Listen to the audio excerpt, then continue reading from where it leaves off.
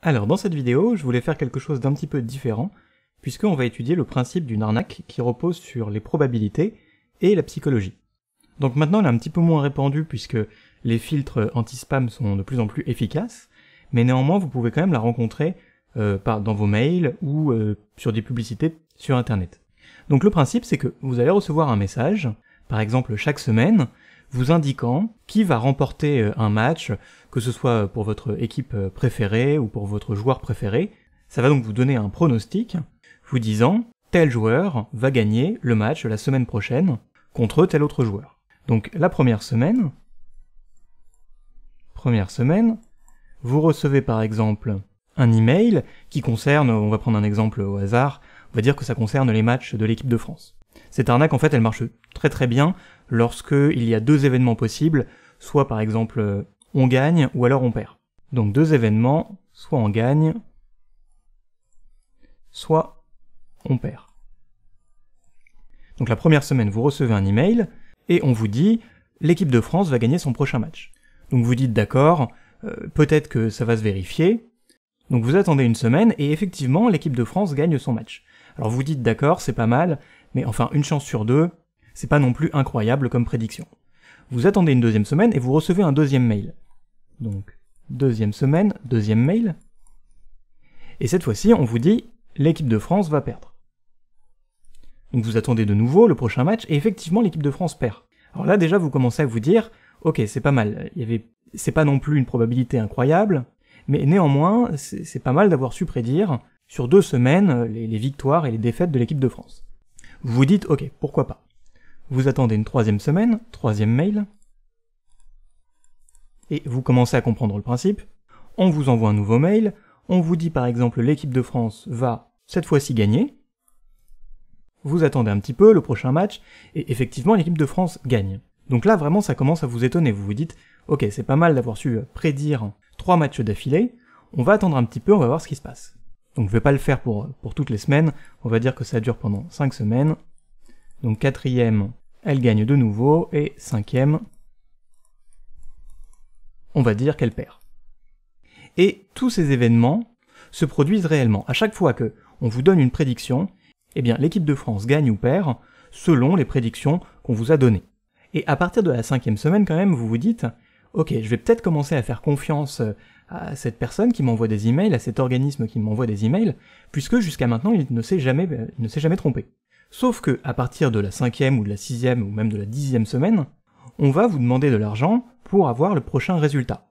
Et là, vous pouvez vous dire, comme cette personne, cette, cette société ne s'est jamais trompée, elle m'a prédit tous les résultats jusqu'à maintenant, bah, je vais continuer de lui faire confiance, et à ce moment-là, je vais payer un petit peu d'argent, puisque de toute façon, elle ne se trompe jamais. Donc, à partir par exemple de la dixième semaine, on vous dit payer par exemple 100 euros pour avoir le prochain résultat. Et finalement, 100 euros, ce n'est pas beaucoup si vous en pariez 1000 ou je ne sais quoi, mais simplement vous pouvez vous dire 100 euros c'est dérisoire si ça me permet d'en gagner des milliers. Vous vous dites de toute façon je ne risque rien, ils ne se sont jamais trompés jusqu'à présent, donc pourquoi est-ce qu'ils commenceraient à se tromper? Sauf qu'en réalité, qu'est-ce qui s'est passé? Pourquoi est-ce que vous avez reçu toutes ces prédictions qui se sont avérées être correctes? Eh bien, le principe, ça repose à la fois sur les probabilités et les statistiques. En fait, l'idée c'est que la personne qui propose l'arnaque, donc ici, arnaque, va envoyer deux séries de mails ou de publicités à deux groupes de personnes. Donc on peut imaginer qu'à la base, par exemple, elle est 500, 500 000 personnes dans une liste, pour avoir vraiment un nombre assez important au début. Elle envoie deux séries de mails, et dans une série qui est donc envoyée à 250 000 personnes, 250 000 d'un côté et 250 000 de l'autre, elle va dire l'événement qui va se produire, c'est que l'équipe de France va gagner. Dans l'autre série, elle dit l'équipe de France va perdre. Et visiblement, puisque vous, vous avez reçu la première fois la prédiction correcte qu'elle gagnait, vous vous situez dans cette série. Ensuite, même principe, on divise de nouveau ce groupe en deux. Dans l'un, on dit qu'il gagne, dans l'autre, on dit qu'il perd, que l'équipe de France gagne ou perd, pardon. On va descendre un petit peu pour avoir plus de place. Donc ici on est à 125 000 personnes. De nouveau, on divise, gagne